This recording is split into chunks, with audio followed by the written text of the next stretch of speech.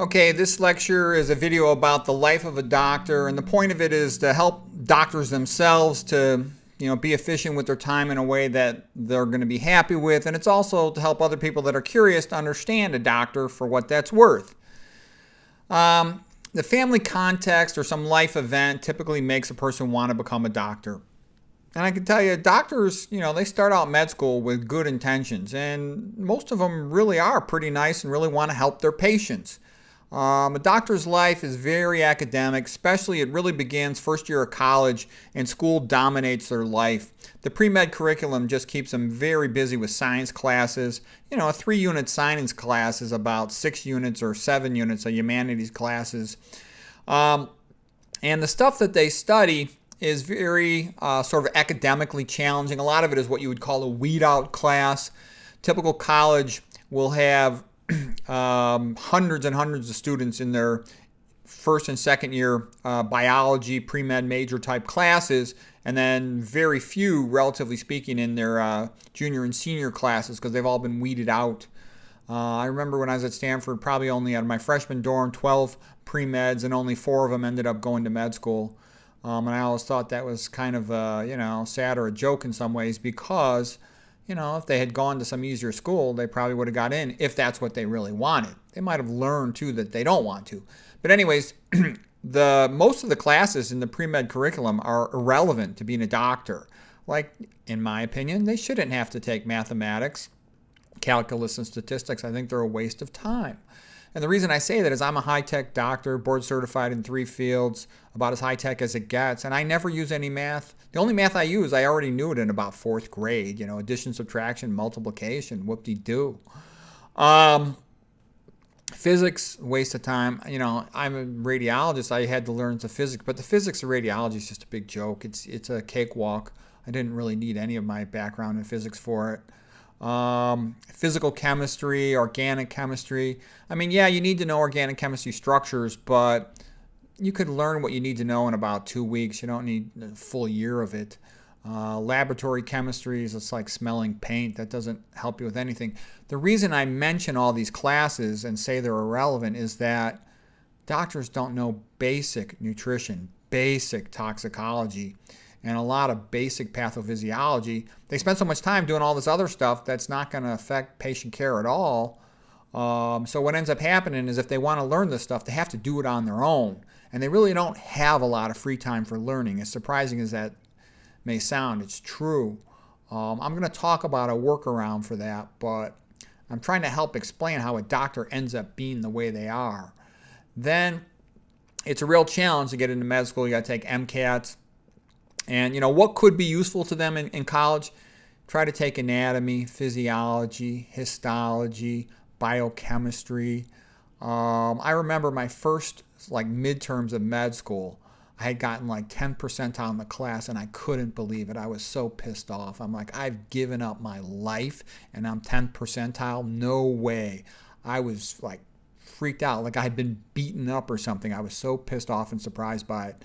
And then what I realized, I'm sitting at the cafeteria table, and all these med students at University of Illinois are like, oh, well, you know, I took, you know, senior year, I took anatomy, physiology, histology. And I'm like, oh, there's the answer. They'd had all the classes before.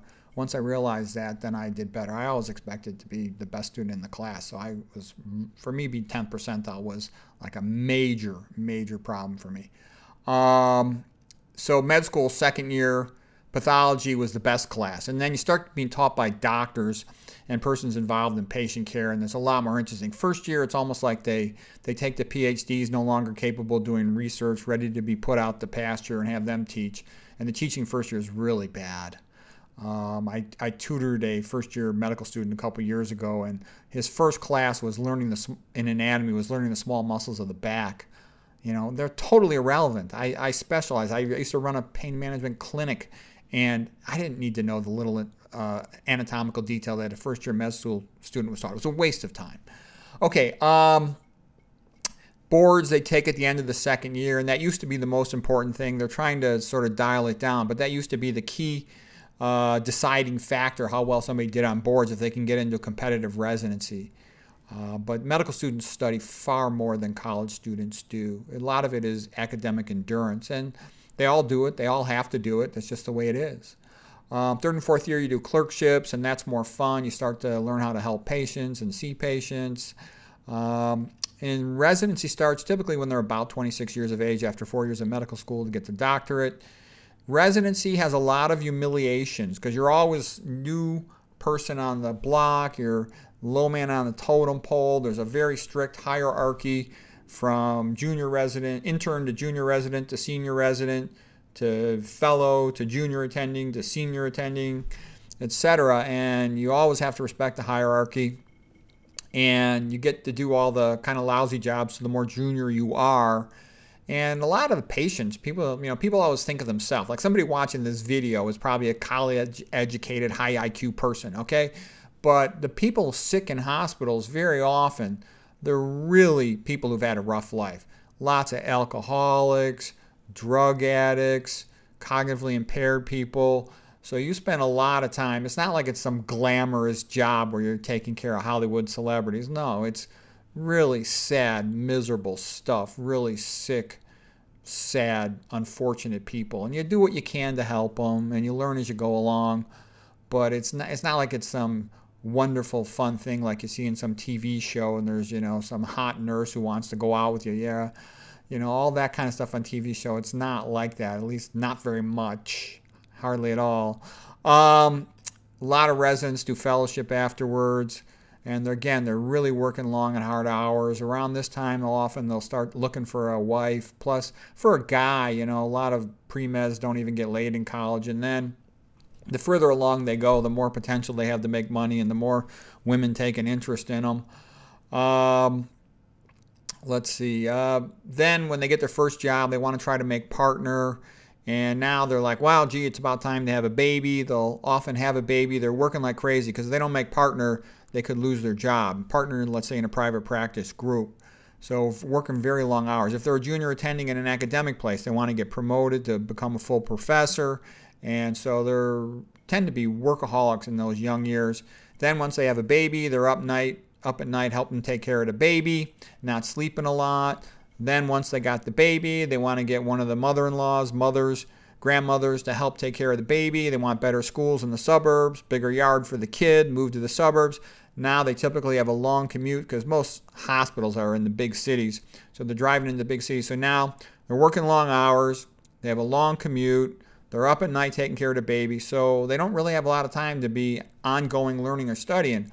And that's relevant because it'll turn out there's major big gaps in their educations. And the only way they can fill those gaps is if they read on their own, and they usually don't have much time to read.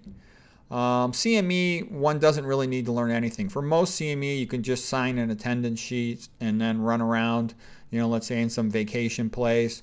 Or even if you do it online, the questions are pretty easy. And most of the lectures are the same old thing and they're stupid. For example, I'm a neuroradiologist. One of the main things that I do and the brain lectures, I could tell you what the lectures are going to be before I even show up. And they say the same stupid stuff all the time. And it's like a home run job where the, the lecturers tend to be the same people all the time. And they never, hardly ever say anything original or interesting. Now, don't get me wrong, there's some great CME lecturers. But they're few and far between. And it's weird, but they tend to not get invited very much to these CME conferences. You know, there's there's like genius level guys like Thomas Naidich, who I love to hear him talk when he talks about this complex, detailed anatomy of the brain. But that's not what you hear at most CME. It's just garden variety stuff I've heard a bazillion times. I knew it my first year or second year of residency. Okay, anyways, um, and uh, but I'm making a point because I'm trying to explain something about why doctors are the way they are and why medicine is the way it is. And this is a big part of it. The doctor is exhausted. He's overworked. He doesn't have much time to read. He's under tons of pressure to make money for his group. And the reward for a doctor comes from quantity. The faster you go, the more patients you see, the more hours you bill for, the more money your group can make, the happier everyone is with you. There's no incentive to read you know, and there's no incentive to change anything because if you change something and do something a new way, that's not the standard of care. You don't get paid for it.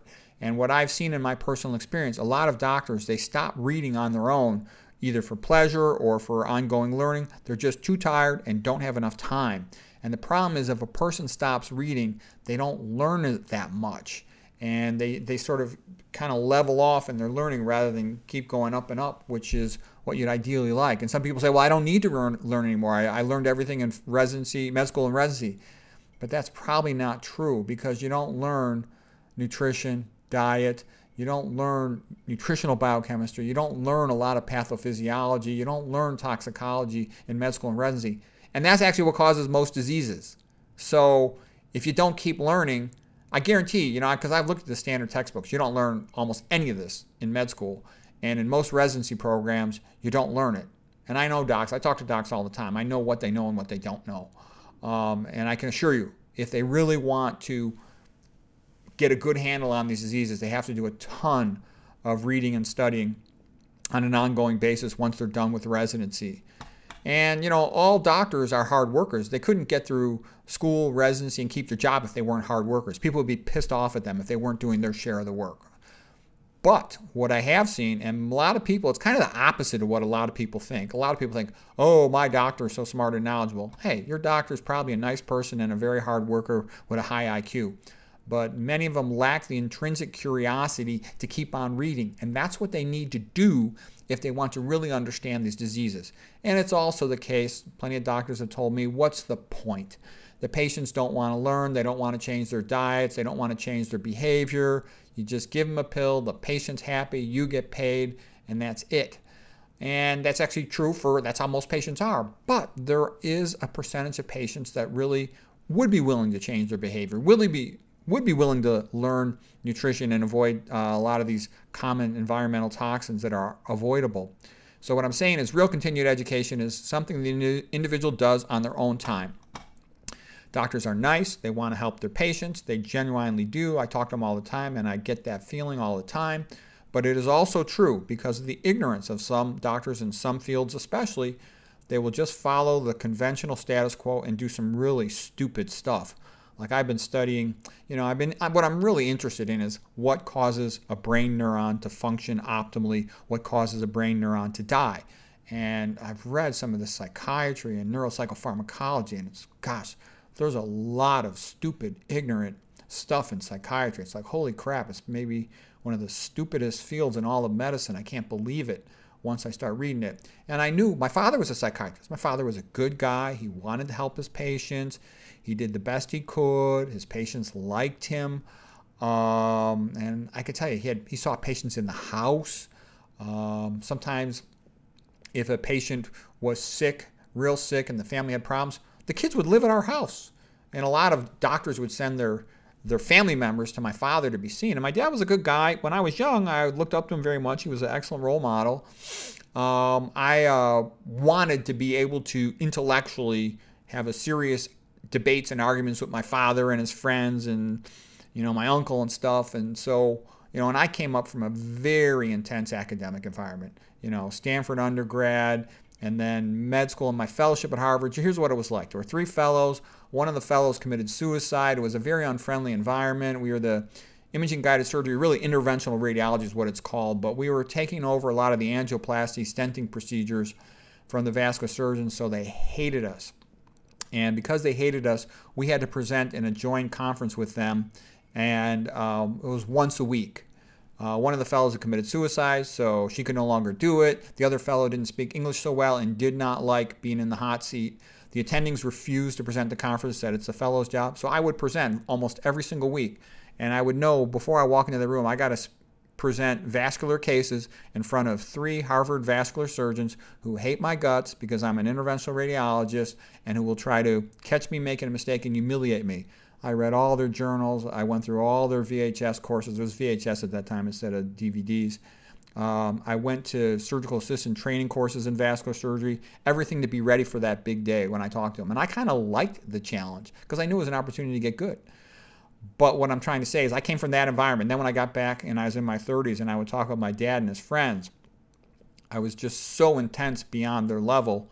Um, they really couldn't hold an argument with me, and I almost felt sorry for them. Um, but a reason I go through that is because a lot of stupid stuff happens to psychiatric patients because these doctors have not read the literature on neuropsychopharmacology and electroconvulsive therapy and, you know, it's important they know that, okay? So That's why sometimes a nice person can make a big mistake is because they're totally ignorant on certain things, okay? Because I was kind of shocked by reading some of the psychiatry literature, psychiatry history. Man, was it a mess. Okay, um, let's see, what else? Okay, so the system kind of dominates. An individual can have good intentions, but it's pretty difficult for an individual to learn and behave in a way that's not pushed by the system, rewarded by the system. It's a struggle to maintain a creative, thoughtful mind. Okay, now I'm going to give some suggestions on things that could help. And I'm going to talk about the magic bathroom. Okay, the magic bathroom. This is a bathroom in my house. This was from when I was studying for neuroradiology boards. I did a fellowship in neuroradiology as well. I would cut these pictures out of journals and books and put them on my wall and just memorize them. Because you go in the bathroom so many times every day. I counted it. It was like I couldn't believe how many times I go into the bathroom, you know, for numerous things, whatever. Stay well hydrated, you'll go in the bathroom more often, okay? The magic bathroom, I called it. Mozart had written a letter uh, while he's on a toilet, said, I think it's only fitting to write while shitting. And so I said, well, it's only fitting to read. Um, and I saw the Monty Python skit, Every Sperm is Sacred. And I got the idea, Every Void is Sacred. So I'd always have a paperback to read during number ones. Um, and anyways, the reason I'm showing this is you have to go in the bathroom a whole bunch of times every day. If you just listen to an audiobook in the car every day or a podcast and then you listen to and then you read in the bathroom every time you go in that bathroom, I'll read a minimum of one page, quite often quite a bit more than that.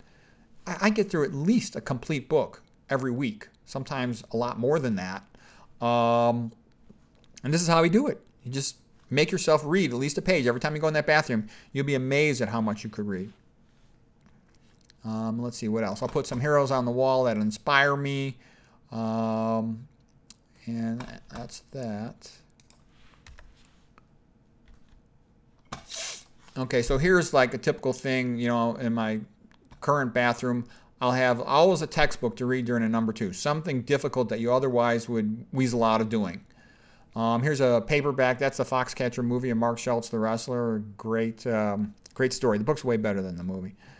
Um, and then here's just an example. I'll put a little table in there. I can look at a flashcard. I'll have an audio book I can listen to if I'm flossing my teeth or something. Um, I learned a ton of stuff with just this going through the bathroom each day. Uh, one last little thing that can help is, you know, you want to get some exercise. I'll just walk around and I'll read a book. And so all these little habits enable me to keep on learning, keep on learning, keep on learning. And it's nice to keep on learning. It gives you a satisfaction because life kind of beats you down. It says, shut up, you're just a factory worker, get your numbers for the day, keep your mouth shut, and you know, you're just in this field, therefore you shouldn't know this other field. But it's sort of like maintaining your mind through ongoing reading, through ongoing conversations with other people with similar interests that are, you know, care about the details of something it makes life a lot more interesting. You got to work your butt off. There's no escape from that. But if you at least see yourself improving a little bit every day, it makes you happier because the mind never stays the same. If you're not improving, then you're declining. You don't want to turn into an old Gomer doc. That means an old clueless doc who doesn't know what's going on is out of date. So, anyways, I hope this helps. It can help an individual be a better doctor and it helps explain why doctors are the way they are. Hope it helps.